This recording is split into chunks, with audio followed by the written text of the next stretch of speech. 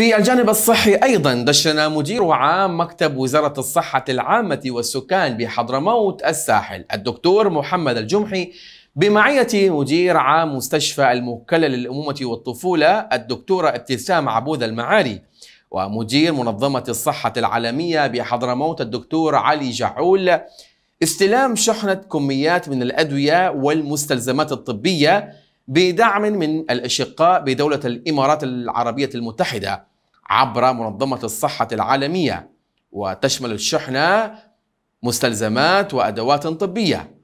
وخلال التدشين أشار الدكتور الجمحي إلى أن الشحنة الطبية التي تقدر قيمتها حوالي 40 ألف دولار جاءت لتعزيز ودعم خدمات الأمومة والطفولة بمستشفى المكلا لتخفيف معاناة المرضى.